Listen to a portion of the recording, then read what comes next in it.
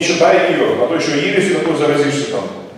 Я говорю, матушка, ну обижаешь, за кого меня читаешь? Вот, э, яйца курицу не учат. Нам тысячелетние церкви и там без году недели, э, писятники какие-то.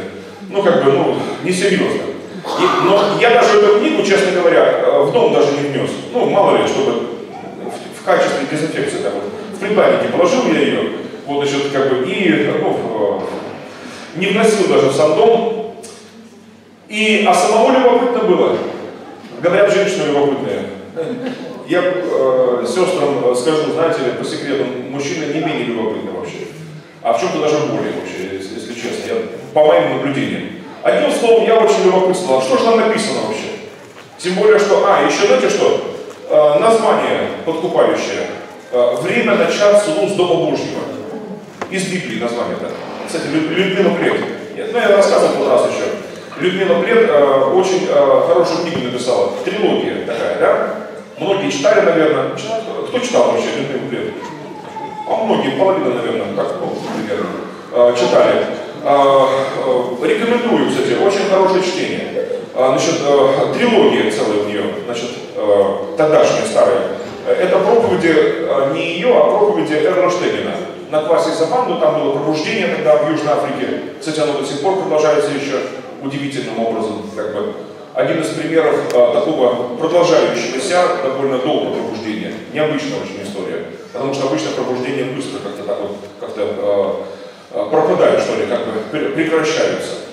А вот это южноафриканское продолжается по сей час. Вот. И может не в таких объемах, масштабах, но свидетельствуют братья, рассказывают тем, кто бывали там. Я не был там, честно говоря, и поэтому, опять-таки, только лишь со слов, а, кто был там. Так вот, а, трилогия, первая книга «Пробуждение начинается с меня», потом «Время начаться с Дома Божьего» и потом «Глаз вопиющих в пустыне». Я потом со временем все три книги прочел, они, каждая из них для меня стала очень важным таким Э, моментом жизни моей, вообще моего христианства, сыграла большую роль. Я поэтому даже, э, когда мы с братьями там общались, у нас в церкви там в Киеве, мы общались, и вот кто бы хотел кого на небесах там, э, ну, поприветствовать, ну, после Господа, конечно же. Вот, да, значит, я сказал сразу, я говорю, братья, я хотел бы вот Эрну Штыгину пожать руку. Ну, он еще живой, я так понимаю, но как бы, я не знаю, вряд ли нам увидимся уже, но как бы, но вот пожать ему руку хотел бы поприветствовать его после Господа Иисуса, конечно, его. А почему его? Потому что именно его книги, а, его проповеди а, повлияли на мое христианство и на мою реформацию. Моя реформация началась через него, будем так говорить. Поэтому вот благодаря его этим проповедям. И э, ту книгу, которую мне э, Григорий э, Темник дал, я все-таки занес домой. Уже думаю, да и нехорошо, думаю, как-то неприлично мы же пообещали, э, а вдруг он, ну, видимо, такой порядочный человек, наверное, прочтет мою книгу, а я же даже и и не заглянул в нее, кроме обложки. Нехорошо, думаю, это. Я думаю, занесу ее домой, ну, почитаю хотя бы одну, две, три страницы, как бы там, авось много ереси не наберусь, ну, так вот, как бы, хотя бы ознакомлюсь с содержанием. А то меня вдруг спросят что-то, а я даже, как бы, не бельмеса. Ну, что делать? Одним словом, я занес эту книгу, э, значит, домой, и я ее читал. Э, читал и плакал, и своими словами обращался к Богу, каялся. Знаете, э, я ее на одном дыхании прочел, только лишь с перерывами только просто прореветь э, поговорить с Богом и снова стал читать. Не мог остановиться. И, а сам думаю, в момент вот, ну, поплакал, почитал, поплакал, и, значит, а сам думаю, ну, это ж такой златоустый, только наших, наших дней. Так что он там делает в секте? Думаю, может, пока книгу переводили, пока издавали, а сколько же времени проходит, знаете ли? А, значит, может, он уже покаялся, может, он уже православный. Так это же, ну, как бы, не, э, не православный человек, но такие православные вещи пишет. Так там все же правильно. Я был захвачен этой книгой, конечно. И потом на другой день отдал жене своей, говорю, почитай, говорю, обязательно, говорю, почитай.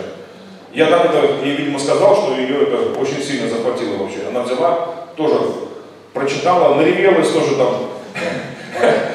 И сразу после того, как она мне книгу вернула, на другой день-то, она мне сразу говорит, а помнишь, я, я так тебе говорила когда-то, О, я вспомнил наш разговор, когда-то давний разговор туда-сюда, что вот я был убежден, что только лишь православные спасаются, вот, и она пример приводила, что вот э, баптистка была какая-то женщина там.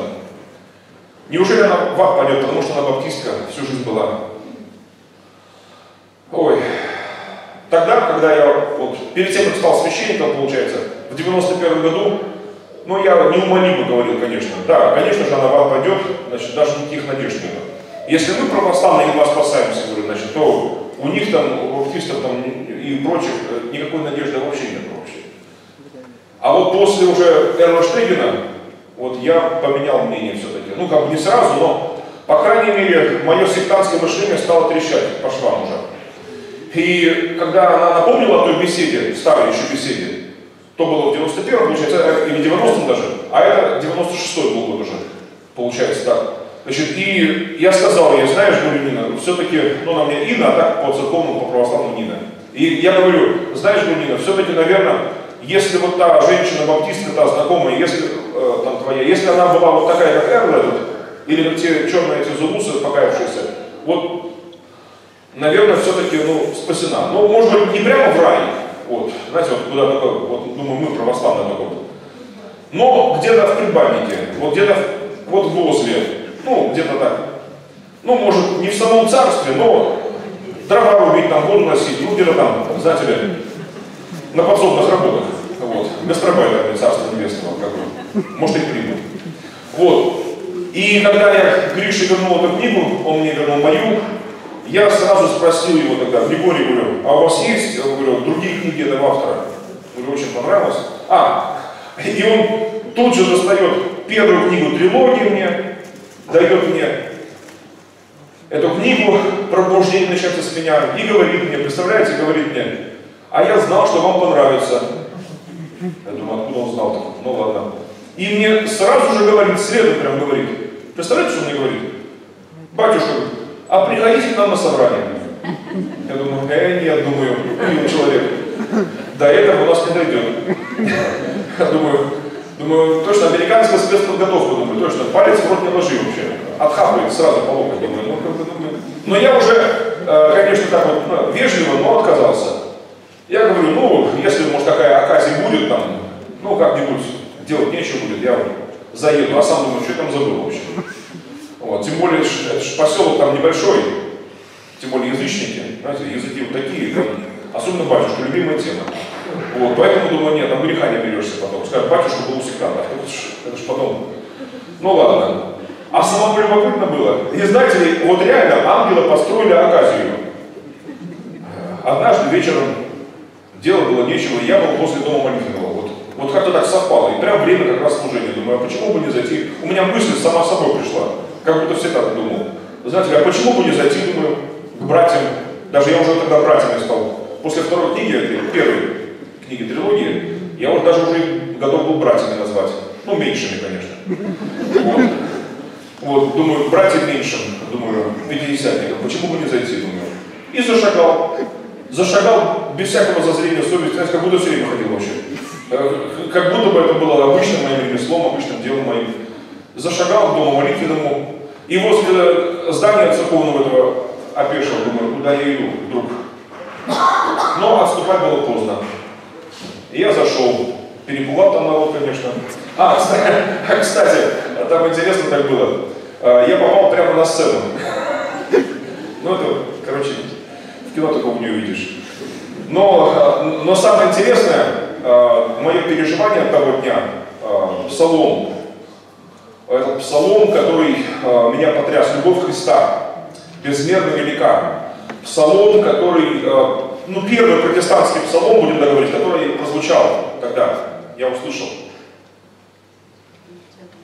Первый, впервые в своей жизни, я же все время православный псалмы знаю, а здесь э, протестантский псалом. И вот этот псалом меня потряс. Вот, и, и словами, и вот самим вот этим духом Христа. Любовь Христа безмерно велика,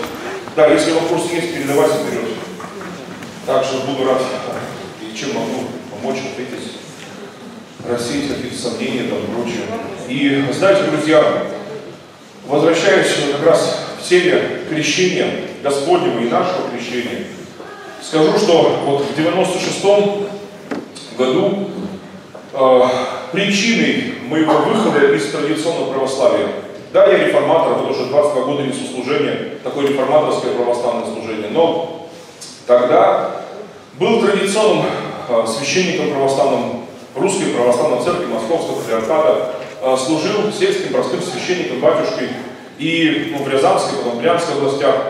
Крестил я э, тысячи и тысячи младенцев, и, да и взрослых множество крестил, но без просвещения фактически вообще, даже элементарного просвещения, научения, без обращения. Ну и как говорил еще однажды, еще в IV веке Златоустый Иоанн, патриарх Константинопольский, э, что без просвещения э, крещение это простое мытье. Вот, к сожалению, я занимался, по сути, в лучшем случае мытьем, э, помывкой. Но это не было крещением в библейском смысле этого слова. И вот одна из причин моего выхода, по единым соображениям, я вышел сам, никто не выгонял там, и просто принял решение такое. И слава Богу, моя супруга меня поддержала в этом решении тогда. И я, значит, несколько пунктов для себя таких обозначил, э, очень важных. И один из них был вопрос крещения. Потому что я, как и тысячи моих коллег, э, священников православных, я вырос э, и практиковал это, ну, то, что называется педобаптизм. Есть баптизм, есть педобаптизм. И как бы два, по сути, все христианство можно вот так вот разделить примерно вот по пониманию, по подходу э, к крещению на вот два лагеря таких, как бы, да, баптизм и педобаптизм. Баптизм здесь э, вам все более-менее понятно, да? Это крещение по вере, э, сознательное решение самого человека, принятие им решения и доброходно дающего, мы знаем, любит Господь, и э, человек э, обещает Богу доброй совести служения или спрашивает у Бога эту добрую совесть и совершает водное погружение по вере во Христа. Но есть и э, огромнейшая часть христианства исторического, католическая церковь, православная церковь, э, некоторые старые протестантские церкви, как лютеранская, кальвинистская, там другие, англиканская, которые практикуют педобаптизм. Педобаптизм это крещение младенцев. Крещение, кстати, педобаптизмом не только крещение младенцев называют, но еще также и крещение порой даже взрослых, даже, да, людей. Но либо по принуждению, по корысти ради, или страха ради, или же просто без просвещения, без научения, без обращения. А, вот, допустим, то, что было тысячи лет назад Руси Киевской крещение, да, значит, и его нельзя назвать баптистским, его можно назвать только лишь педобаптистским. Потому что, ну, во-первых, крестили всех и младенцев тоже, а во-вторых, даже взрослых, кого крестили, их крестили не по доброй воле, не доброходно. Знаете ли, значит, как минимум, либо корысть была, либо, ну, чаще всего, просто а, страх, за страх. За страх, не за совесть. Поэтому а, то, что было тогда творилось, это беззаконие, к сожалению, до сих пор многие считают, что это чем-то хорошим, полезным. На самом деле это Хотя мне батюшки некоторые говорят до сих пор и пишут, и говорят, что вот, но все-таки, слава Господу, он принял Владимир, все-таки христианство, какое-никакое, хоть там разбавленное и, как говорится, седьмая вода на киселе, но все-таки христианство. Я говорю, знаете, господа, э, то, что он принял и то, что он совершил, это, говорю, медвежья услуга Царству Небесному. На самом деле Бог не нуждается в подобных э, стращениях э, и из-под палки загонять железной рукой, знаете ли, загонять в светлое будущее.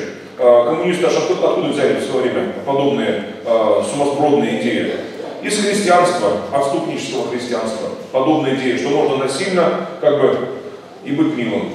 Ну ладно, э, но э, вообще-то в моем христианстве произошли большие изменения. После, вот, спасибо Богу за Эрла Штегина, спасибо за Людмилу Плед, спасибо за других там братьев, сестер, потому что я читал другую литературу еще, но особенно, конечно, вот проповеди тогда эти помогли мне в моем христианстве.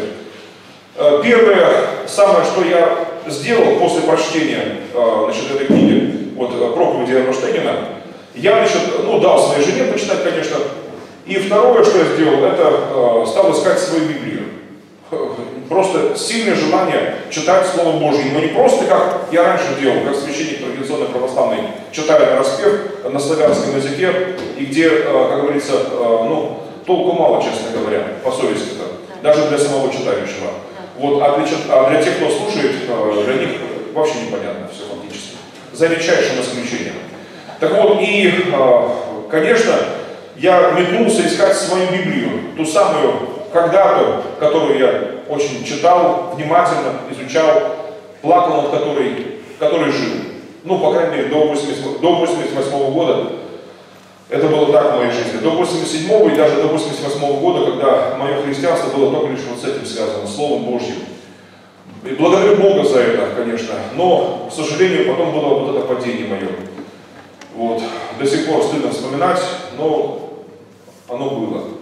Страшное падение, да. И а, Божье Слово стало постепенно уходить из моей жизни. А в 91 году, став священником, вообще я фактически потерял это слово я погрузился в пучину всевозможных страшных преданий и учений, а, от которых до сих пор страшно, честно говоря. А страшно почему? Потому что Бог-то меня спас от этого, слава Богу, но, знаете ли, а, страшно то, что миллионы душ гибнут. Вот это страшно. Вот. И а, поэтому, наверное, одна из причин, почему я вот сейчас в и несу это служение – Одна из причин, наверное, в том, что Бог хочет, чтобы все люди спаслись. Не только протестанты, а, не только пятидесятники или баптисты или кто-то еще. Бог хочет, чтобы все люди спаслись, в том числе православные. Слава Богу, что многие умные православные, а, они слушают не только православных батюшек, но слава Богу, а, что много сейчас проповедников в разных конфессиях и несущих благую весть об Иисусе Христе. Очень много, слава Богу. Но моя мечта, чтобы и в православии, чтобы Слово Божье звучало именно как Божье Слово. Это происходит уже мало-помалу. То, что было 20 лет назад и сейчас, это большая разница. А, за эти 20 лет, а, на самом деле, эволюционная реформация происходит. Ну, по чайной ложке, понемногу, по чуть-чуть, по капелюшечке, но происходит. Но это недостаточно есть вещи, которые нужно не эволюционной реформацией решать, а революционной реформацией решать. Я в этом глубоко убежден. На примере своей жизни я этого свидетельствую везде. И в православных церквях, ну, где меня пускают, принимают меня, а, не в России, к сожалению. Вот, значит, и а, в протестантских разных очень церквях, католических э, костелах, опять-таки, где приглашают, куда приглашают. Я везде говорю о том, что Бог совершил в моей судьбе рассказываю о моем возлюбленном, об Иисусе Христе, потому что я глубоко убежден, что ни в ком другом нет спасения вообще. Что Он есть путь истинной жизни, я об этом везде свидетельствую. И а, в 96-м я отказался от крещения младенцев. И даже взрослых перестал крестить э, просто так, ради крещения. А только лишь э, вот именно обращенных, принявших Христа и вот сейчас я тоже так же делаю, как и в ваших церквях принято. Я тоже так поступаю. Я, когда крещу, то, ну, я не часто, честно говоря, это не мое призвание. А, как бы у нас есть а, священники, которые именно, ну, как бы, большей части этим занимаются, крещением именно. Вот, а, я, допустим, не часто, но тоже выступаю в роли крестителя и в своих церквях наших, и в гостях тоже, когда бывает. Вот, но чаще в своих церквях. И когда ну, нашего реформаторского такого, евангельского православного такого братства. Кстати, о, в газете нашей, а, там в шапке а, под названием а, написано в строке следующее. Газета православных христиан веры евангельской. О, думаю, вот это да, это много, много, многого стоит подобное. А знаете, почему еще я говорю? Об, об этом, потому что я убежден, что всем нам, независимо от нашей церкви, конфессии там, и прочие направления, нужно иметь веру Божью, евангельскую, библейскую, вот так вот. Ну ладно. И с педобаптизмом было в моей жизни покончено, зарекся э, вообще не крестить никого без э, вот, просвещения. И вот с того времени я крещу таким образом. Захожу в воду вместе с крещаемым, если это позволяет обстоятельства, допустим, да, крестить, то я говорю, э, веришь ли в Иисуса Христа, как в своего Господа, Бога и Спасителя. Он говорит, да, верую, там, исповедует веру свою. Потом говорю, обещаешь ли ему служение доброй а, совести? А, а, и он говорит, да, обещаю служение. И люди обычно, ну, как бы, когда мы проводим крещение, чаще всего, ну, все собираемся. Я объявляю, чтобы никто не, не прогулял подобное служение, потому что это очень важное, считаю, служение для всех. Вот, даже если ты давно уже был крещен, напоминай себе очень важно порой такие вещи. И вот э, человек крещаемый говорит, да, обещаю, э, и прочее. И вот э, дальше я говорю так, что вот на основании Слова Божьего и на основании твоего исповедания веры я крещу тебя сегодня по имени Иисуса Христа. И дальше говорю, крещается раб Божий такой-то, во имя Отца, Сына и Святого Духа. Аминь. Вот, погружаю его по-нашему, по православному, трижды даже погружаю. Вот. Но а, если в гостях, правда, я крещу где-то, да, то я, конечно, в чужой монастырь со своим уставом не приходит. Я уже спрашиваю заранее, братьев, как у вас принято, вы мне поясните, как бы, чтобы ну, не опозориться. Вот, значит, и как бы не крещу в протестантском э, направлении обычно одно погружение, да, как бы, но не количество погружений или, там, или э, слова произносимые важны. Здесь э, важна сама суть э, вопроса, э, что человек действительно э, верует и исповедует э, в этом крещении э, Иисуса Христа своим личным Господом, Богом и Спасителем и обещает служение доброй совести. И, конечно, это очень торжественный обряд, таинство церковное. Я очень люблю это и как бы и сам совершаю это. Ну, в наших церквях обычно летом мы совершаем это. Редко очень зимой, когда совершаем, ну и то зимой, если то в теплом помещении. Вот. И, конечно, для всех, кто присутствует там, это важное напоминание. Как один приезжал писательский, кстати, пресвитер, Э, рассказывал нам интересную вещь такую, э, историю. Еще начало 90-х было. Они где-то там на Азовском море крещение проводили. Э, прямо пляж городской там. И вот они вышли там с гитарами, крест подрузили, значит, там значит, народ собрался в белых одеждах, крещаемые приготовлены были. Вот, верующих много съехалось. Вот, и этот э, пастор их, он заказал этот, э, нанял э, духовой оркестр, короче, городской там. Вот, а, недорого, они согласны были, а, репертуар у них огромный, богатый. И представьте, и они, а, когда заходили все в море, так договорились, чтобы все заходили в море и там стояли. И потом всех потихонечку погружали. А потом все вместе также торжественно выходили, так договорились. Заранее как бы оговорили саму процедуру. И вот, и когда они заходили в море, как говорится, океан, что происходило? Оркестр играл похоронный марш. Но, правда, пресвитерский он сказал, что тот э, замысел был э, после молитвы, это было откровением, это не было просто, знаете, вот, ни с того ни с сего решением. Э, значит, и играл похоронный марш, там весь пляж сбежался, всегда дохоронит кого-то в воде.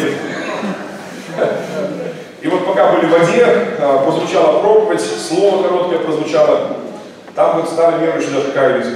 Вот. И затем погружение было, и когда выходили, то уже ну, наш еврейский марш играл уже Мендельсона.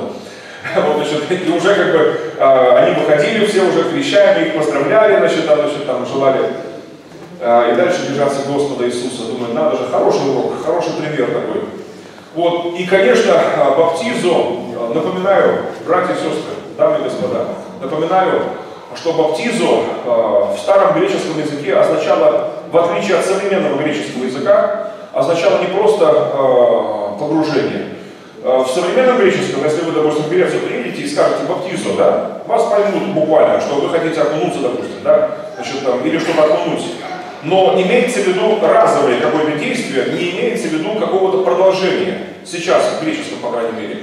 Но если бы вы 2000 лет назад, допустим, перенеслись во времени, да? И 2000 лет назад сказали бы баптизу. Вас вы поняли греки совершенно по-другому вообще. А, они поняли бы, что вы имеете в виду а, что-то погрузить, положить и там остались вообще в воде. Потому что баптизу раньше означало именно это.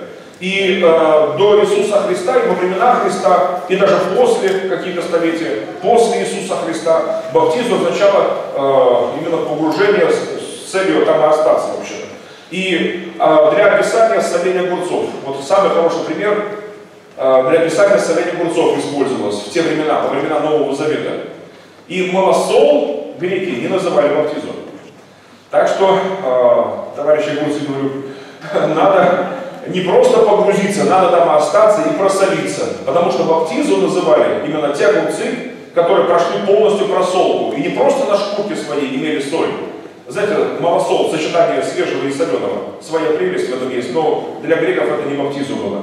А баптизу было те огурцы, которые прошли полностью просолку и имели соль в себе. И они уже и запах иной совершенно, и вкус, и все, и цвет. Вот так вот. А, так что слова Иисуса можно так вот а, на сегодняшний манер как бы перевести, изложить как бы для современного а, слушателя понятнейшим образом, что кто идите нам проповедуйте Евангелие всей твари, а потом кто будет э, всякому творению, значит, да, всему сущему. И кто уверует и погрузится в меня, и пропитается мною, будет спасен. А кто не уверует, ну, так и погибнет на грядке, э, как говорится, огорода века сего. Но Бог хочет, чтобы весь урожай был спасен, чтобы все пошло в закрома Его, святые. Он хочет, чтобы все люди спаслись и достигли познания истины. Ибо един Бог един посредник между Богом и человеками, человек Христос Иисус, предавший себя для искупления всех. Аминь. Братья и сестры, и поэтому э, погружаемся в Господа. Конечно же, имеется в виду баптизу и водный обряд сам, водное таинство, это крещение в воде, безусловно, но в большей степени, а, по крайней мере в древности, имелось в виду по тексту самому, именно погружение в самого Господа, в частности, вот как Матфея сказано, там так красиво, а, в сущность Отца, а, в сущность Сына и Духа Святого, погружение и пропитывание им. А, кстати, еще, что немаловажно, вообще, это, это даже, ну, вообще архиважно, слушайте, ведь это же э, завершающие такие слова. У Марка, помните, да, 16 раздел? Там говорится, в 16 стихе говорится, не, ну, в 15 перед тем, э, Марка, 16 э, глава, 15 стих, написано, «И сказал вам, идите по всему миру и проповедуйте Евангелие всей твари. А кто будет веровать, в 16 стихе написано, и креститься спасен будет, а кто не будет веровать, осужден будет.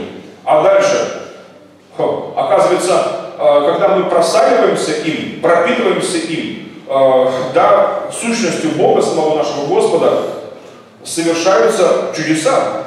Дальше написано, у веровавших же будут, то есть, ну, понятно, по контексту имеется в виду не просто, а вот уверовал, и ты погрузился в него, и им просадил, пропитываешься им. Значит, у веровавших будут сопровождать, э, написано, сие знамения. Именем моим будут изгонять беса, то есть э, знамение, сопровождающее жизнь верующего. То есть бесам с тобой неуютно, абсолютно. А, там, где ты, там нет места бесам просто-напросто.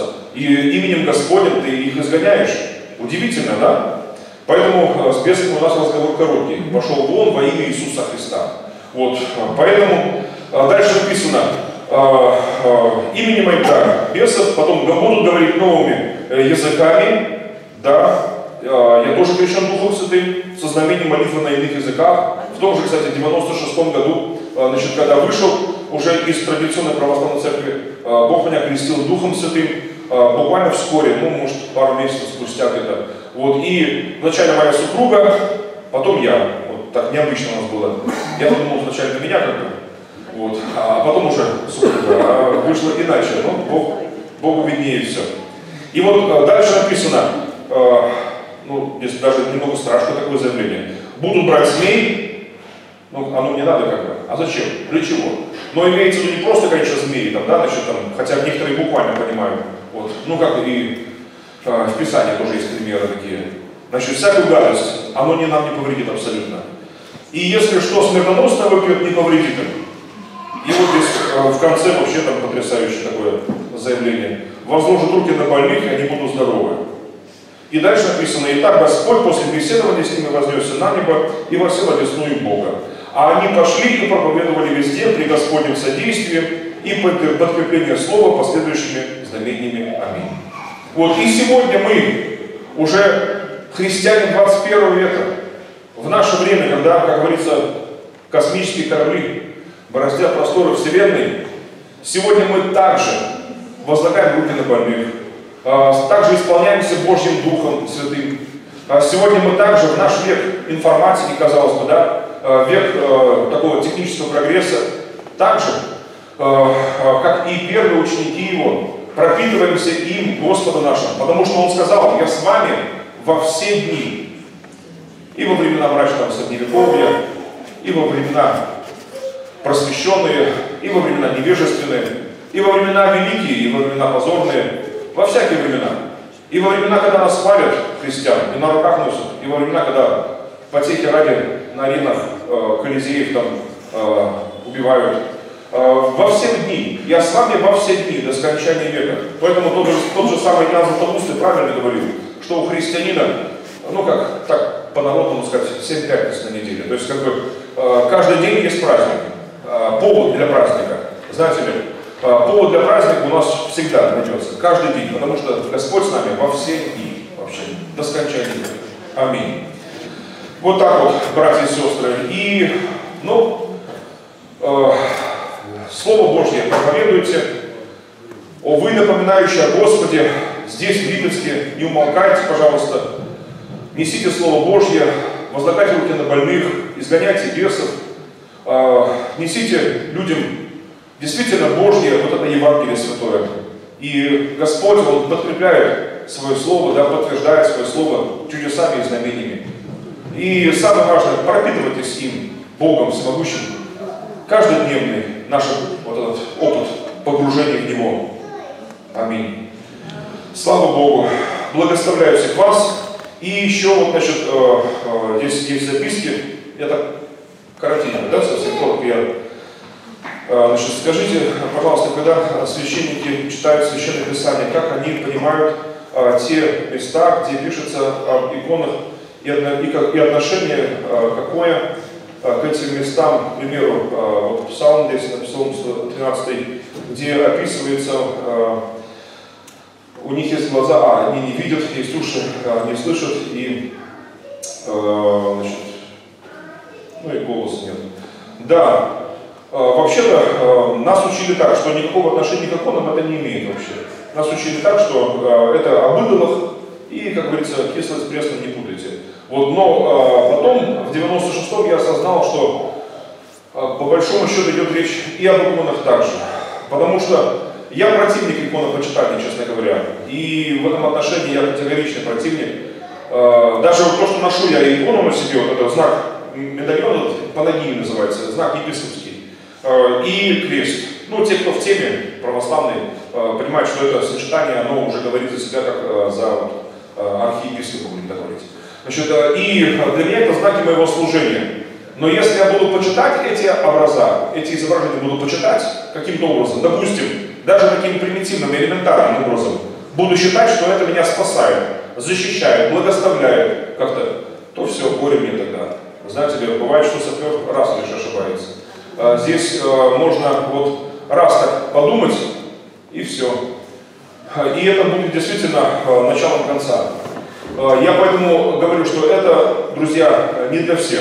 И я не рекомендую вам там, завтра одевать там, кресты, там, значит, там, а, значит, иконы там, и прочее. Нет, не, не рекомендую. Хотя некоторые говорят, ну, чап корова мучала, то твоя молчала.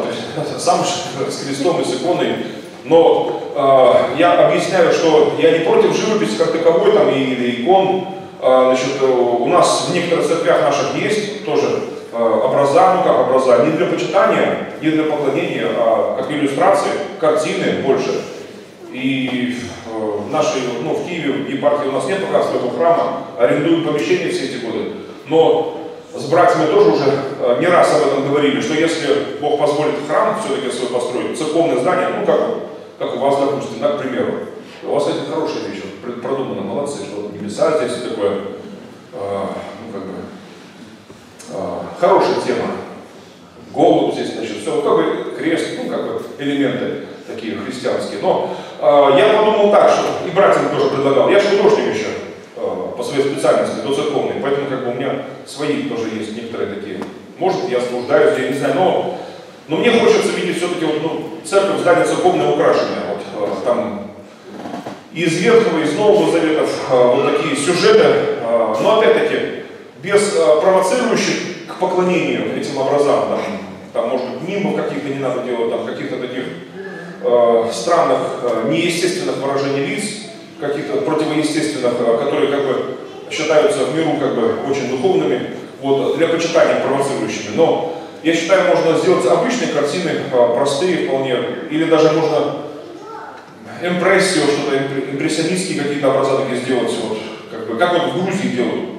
А в Грузии а у нас церковь, а, там служение есть в Руставе и в Грузии вообще, и нашей церкви. И я бываю там, в Грузии, на Кавказе вообще в целом, и там сотрудничаем мы с одной из церквей протестантских. Она называется, это церковь объединений церквей по Грузии, по Кавказу.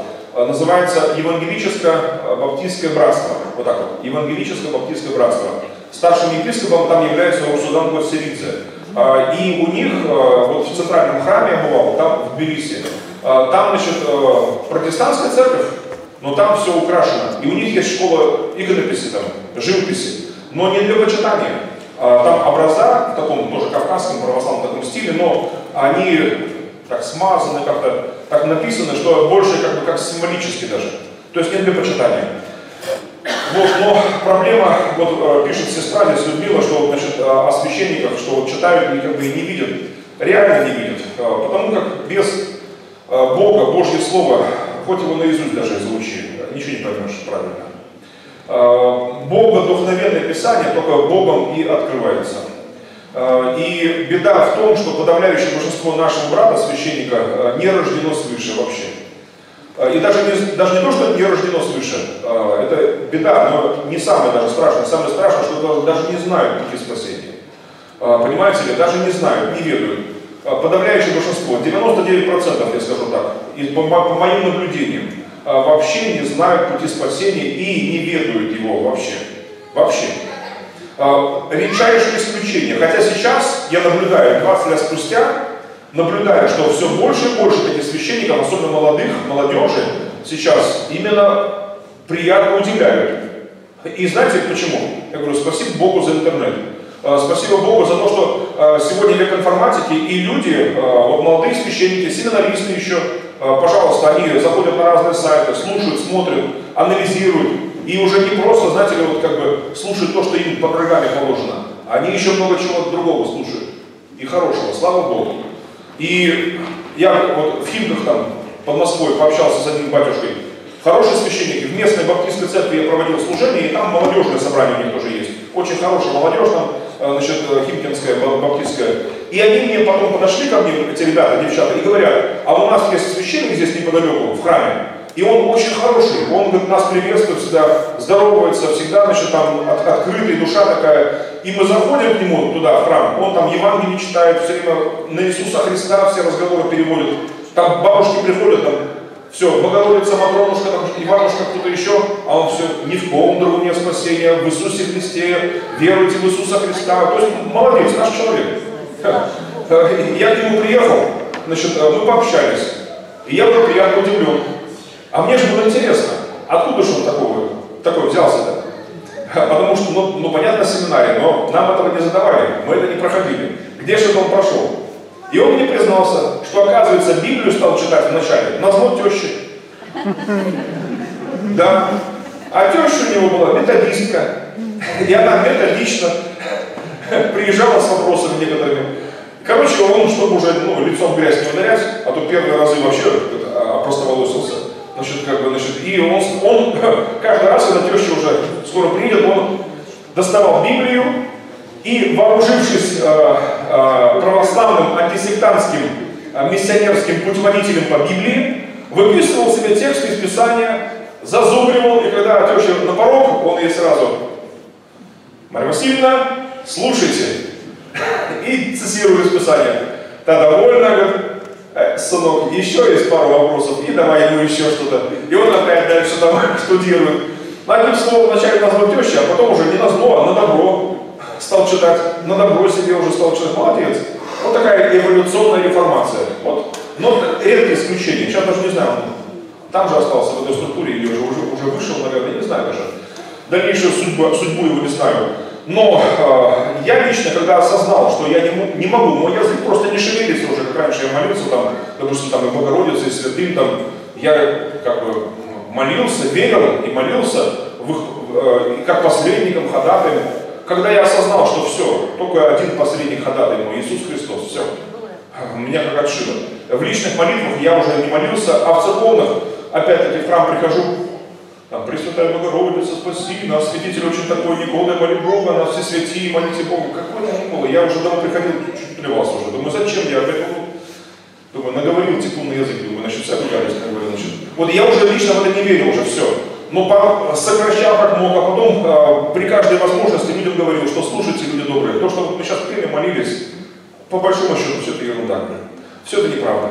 Потому что по-настоящему только лишь один Господь Иисус Христос. Ну, в конце концов, я понял, что не по. Вот, и вышел тогда из традиционного православия. А сегодня молюсь, чтобы действительно, чтобы Бог совершил чудеса.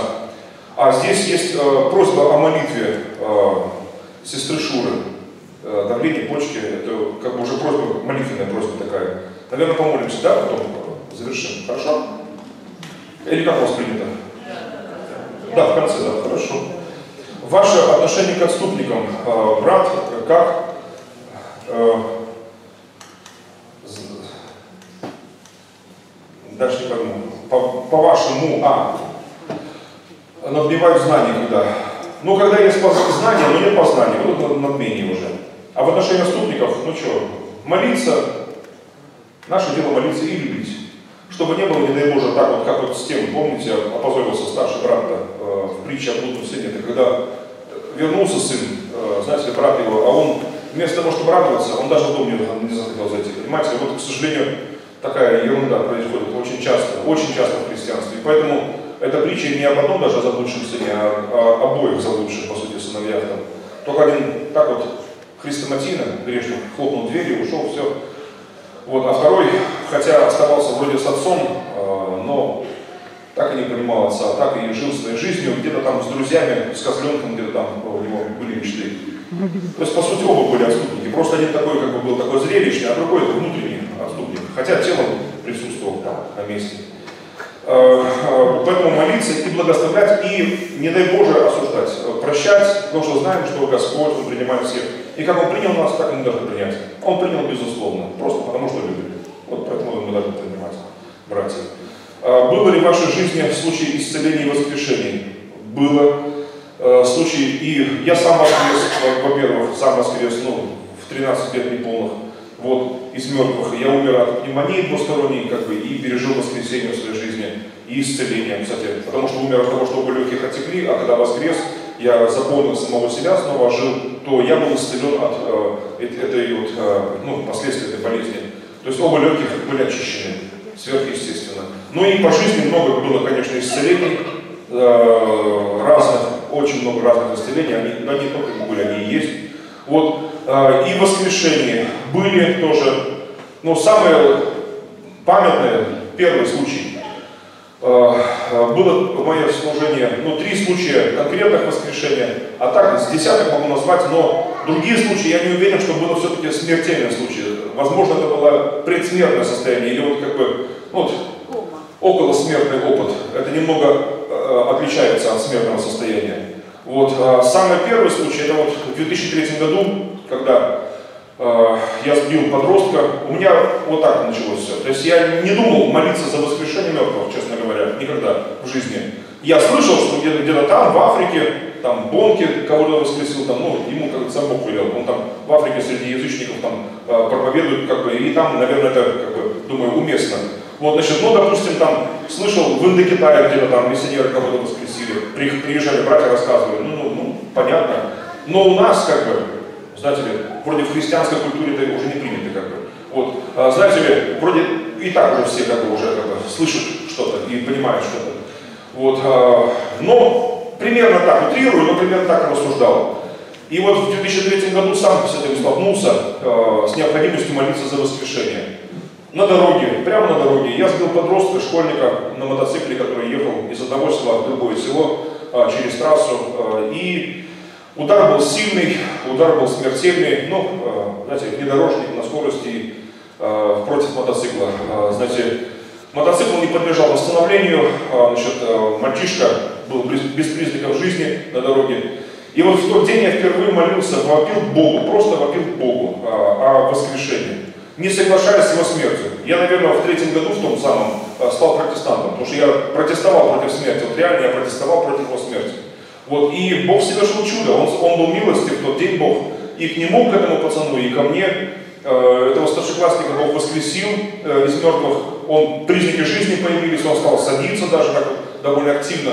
Э, пытался там сзади почесать себе голову, а там у него голова была ну, лицо чистое, а сзади все разбито было. И голова была как, знаете, переспелый арбуз, трескается, вот, там мозги эти толкотали, мозг вот, был виден, вот, э, за этой дырой этой.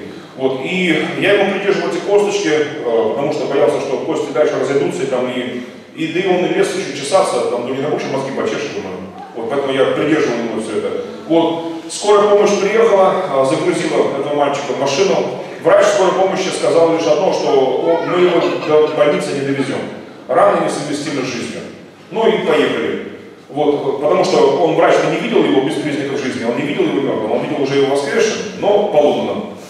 Вот. А, но я понимал так, что врач не прав. А, если Бог сейчас воскресил его, то не за тем, чтобы он умер по дороге. Думаю, какой-никакой, хоть поломанный, но живой, по крайней мере. А, жена и дети оставались в машине, возле машины, а я ушел в посадку помолиться.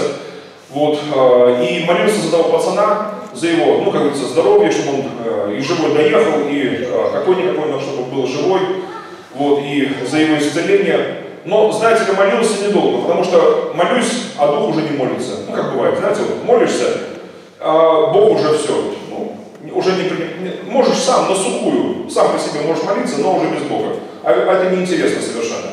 Я пробовал два-три раза помолился так, вижу, а Бог вообще никак не реагирует. Ну, ну все, я извиняюсь, я просто благодарю тебя за все, не понимаю, почему я дальше не молюсь сейчас за его исцеление, но просто благодарю тебя за все. И все. Потом приехала милиция, э, а сам-то я думаю, может быть это был не летальный исход, а может это просто был глубокий обморок какой-то, знаете, туда-сюда. Вот, и, э, значит, ну, а вот эти ДАИ, э, милиционеры, эти, которые приехали, они как бы косвенно мне подтвердили, что это был все-таки летальный исход, потому что ну, мое транспортное средство, его, как говорится, тормозной путь, где его тело лежало, ну, и милиционеры это сказали, что там э, у пацана шансов нет вообще никаких. Это, ну, батюшка, летальный исход, короче. Вот, и, э, значит, э, я сказал этим милиционерам, там, Сергей Шкура был капитан милиции, я с ним познакомился тогда в тот день, значит, это в Сумской области, э, не доезжая Кролевца, если с Киева ехать, вот как раз вот это все произошло, ДТП. Я сказал этому э, капитану, что говорю, так и так, говорю, значит, его не в морг, а в реанимацию повезли. Ну, он говорит, ну, батюшка, успокойтесь, это, это ненадолго, потому что, ну, не первый год на дороге, уже всякое видели, уже можем определить, это летальный исход. Вот, но когда приехали э, в больницу, потом в милицию, значит, был в кабинете следователя уже, в Крылевце в том самом, то, значит, узнал продолжение всей этой истории. Оказывается, да, кстати, в кабинете следователя был врач, э, скорой помощи, тот самый, он пришел в моем присутствии, следователю сказал, что говорит, это чертовщина какая-то, то, что произошло. Э, он сказал, что это не была как галлюцинация массовая, потому что это не приснилось там всем этим людям. Кто он сам, там, водитель этой санитарной скорой машины там, помощи там, и еще кто-то. Потому что кровь оставалась э, свидетельством, что все это было на самом деле. И, кровь, и это была кровь мальчика самого, не чья-то кровь. Но когда ему смыли все здесь, не нашли ни царапинки, ни чемошинки абсолютно. То есть за тех минут 15, что его везли э, с места ДТП до Кровевца, ну минут 15, не больше, вот, даже может и меньше. Так вот, за это время э, значит, э, пацан был полностью исцелен. Э, кости срослись бесшовно, кожа как будто не рвалась, ничего. Но дальше было еще чудеснее все. Хирург, ну, правда, он не видел на месте ДТП, он видел уже э, с заросшим черепом, но бесшовно все срослось, без всяких синяков, царапин, без ссадин, без ничего, как будто ничего не ломалось у него вообще. Ну, мистика, знаете, какая-то. Поэтому врач сказал, что это вообще какая-то. Вот, но, когда мальчика раздели до гола, значит, хирург был ошарашен. Потому что а, одежда показывала, что мальчик был действительно с ДТП и должны быть многочисленные какие-то там следы этого ДТП на теле его. Но когда его до гола раздели, тело было чистое, никаких следов ДТП не было. Поэтому врач сказал, что такое ощущение, как будто его по дороге переодели в чужую одежду вообще. Не в его одежде он был, как бы, не в своей. Вот. Дальше было еще больше чудеснее вообще. А, оказывается, Пока его не только раздели до гола, его щупали всего, смотрели его, а хирург еще задавал нам вопросы, и еще тот врач, другой, задавали ему вопросы специально, проверять его мозги. Как он отвечает, вообще смотреть, мало ли, может у него что-то с головой еще, удар все-таки там. туда-сюда, авария.